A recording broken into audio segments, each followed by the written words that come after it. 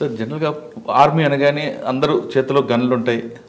War చేస్తుంటారు. పాకిస్తాన్ బార్డర్లోనూ అక్కడే అనుకుంటారు. కానీ దాని ఇంటర్నల్గా చాలా విభాగాలు చాలా డిపార్ట్మెంట్స్ ఉంటాయి. పర్టికులర్గా మీలాంటి ఇంజనీరింగ్ అనేది చాలా ఇంపార్టెంట్ ఉంటుంది.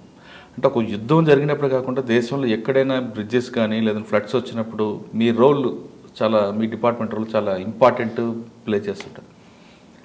మీరు కార్గిల్ లాంటి వారిలో పాల్గొన్నప్పుడు ఏ విధంగా ఉంటుంది? అక్కడున్న మీకు అనుభవాలతో పాటు జోధ్పూర్ కానీ లేదా పాకిస్తాన్ కాశ్మీర్ బార్డర్లో పనిచేస్తున్నప్పుడు మీరు చేసిన అచీవ్మెంట్ టీం వర్క్ అవి చెప్పే ముందు అజయ్ రెడ్డి గారు ఆర్మీ వైపు ఎందుకు అడుగులు వేశారండి అది? కుటుంబ నేపథ్యం చెప్పండి um, మా ఫాదరు కూడా ఆర్మీలో ఉండారండి చాలా సీనియర్ ర్యాంక్లో రిటైర్ అయ్యారు. సో ఆయన ఆయన కూడా కర్నల్ ర్యాంక్ ర్యాంక్లో ఉన్నప్పుడు నేను క్లాస్ లెవెన్లో ఉన్నాను. అప్పుడు నన్ను అడిగారు ఆర్మీ జాయిన్ చేస్తావా అని నేను చూసింది అది ఒకటి. ట్యాంక్స్ గన్స్ అన్నీ చూసి నేను చాలా ఇంప్రెస్గా ఉన్నాను. నాన్నగారు ఎక్కడికి పనిచేస్తారండి నాన్నగారు ఫస్ట్ పోస్టింగ్ లదాఖ్లో ఉండిందండి. దాని తర్వాత ఒక ట్వంటీ ఫైవ్ లొకేషన్స్లో పనిచేశారు ఇండియాలో. మీరు ఆయనతో పాటు తిరుగుంటారు. అంటే ఫ్యామిలీ అండ్ ఫాదర్ ఎక్కడ పోతే ఫీల్డ్ ఏరియా అయితే అంటే ఆ ఫీల్డ్ ఏరియాస్లో మేము పర్మిటెడ్ కాదు. పీస్ లొకేషన్స్లో మేము పర్మిటెడ్ ఉంటాం. ఆ లొకేషన్స్ అన్ని మేము ఫాదర్తో పోయాము. ఫాదర్ ఫీల్డ్ ఏరియాలో ఉన్నప్పుడు మేము విలేజ్కి వెళ్ళిపోయాము సో ఫాదర్ ఎక్కడెక్కడ పోయారో మేము అక్కడక్కడ ఫాలో ఫాలో చేస్తూ ఉన్నాం అనమాట చదువు కూడా అలాగే జరిగిందా? చదువు కూడా అట్నే జరిగింది. నేను నా ట్వెల్త్ క్లాసెస్ థర్టీన్ డిఫరెంట్ స్టేషన్స్లో చేశాను. సో దాంతో ఒక అడాప్టబిలిటీ చాలా ఇంప్రూవ్ అయిపోద్ది. ఆ, చాలా లాంగ్వేజెస్ మాట్లాడతారు. సో అదే అదృష్టం అంటే ఎవరికి రాదు అది. అంటే ఎక్స్పీరియన్స్ పెరిగిపోద్ది.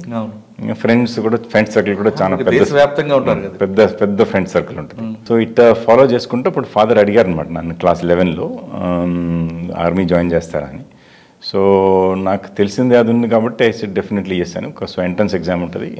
ఎంట్రన్స్ ఎగ్జామ్ రాయాలి దాని తర్వాత ఇంటర్వ్యూ ఉంటుంది. ఒక వెరీ టఫ్ ఇంటర్వ్యూ ఉంటుంది. మెడికల్ టెస్ట్ ఉంటుంది మెరిట్ లిస్ట్ ఉంటుంది. సో అదంతా పాస్ అయ్యాను fortunately due to hard work of my mother pass అయ్యాను. ఎందుకంటే మదర్ గైడ్ చేస్తారు కదా ఈ ఏజ్లో అంటే సిక్స్టీన్ సెవెంటీన్ ఏజ్లో మదర్స్ గైడ్ చేస్తారు. సో పాస్ అయ్యాము. పాస్ అయిన తర్వాత ఎన్డీఏలో త్రీ ఇయర్స్ ట్రైనింగ్ జరిగింది. Training NDA is National Defence Academy Khadakwasla పూనాలో okay three years దాని తర్వాత వన్ ఇయర్ దేహరాదూన్ ఆ, లో ట్రైనింగ్ జరుగుతుంది. ఫోర్ ఇయర్స్ ట్రైనింగ్ ఉంటుంది. టఫ్ ట్రైనింగ్ ఉంటుంది. భలే టఫ్ ట్రైనింగ్ ఉంటుంది. మైండ్ చేంజ్ డెహ్రాడూన్ ట్రైనింగ్ ఏ విధంగా ఉంటుంది సో డెహ్రాడూన్ అంతా కూడా మీకు ఇన్సైడ్ ట్రైనింగ్ అనుకుంటా? అంతా ఆర్మీ ట్రైనింగ్ ఉంటుంది. మిలిటరీ ట్రైనింగ్ ఉంటుంది. NDA training IMA training Dehradun training రెండు చాలా టఫ్గా ఉంటాయి.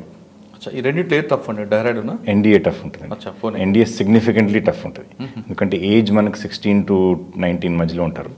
ఆ, ఆ ఏజ్లో formative years so brain wash అయిపోద్ది అంతా. బ్రెయిన్ అంతా సెట్ అయిపోద్ది అంటారు టు సర్వ్ ద కంట్రీ దేశ సేవ కోసం అంతా సెట్ అయిపోద్ది. ఐఎంఏలో ఫినిషింగ్ టచెస్ ఇస్తారు. ఇంకా జెంటిల్మెన్ లాగా టు బిహేవ్ కరెక్ట్లీ అని. Discipline discipline and physical fitness అంతా అయిన తర్వాత దెన్ యువర్ కమిషన్ ఆర్మీలో కమిషన్ అవుతారు. కమిషన్ అయితే స్టార్ ఇస్తారు. Uh, దాని తర్వాత you have troops to command అనమాట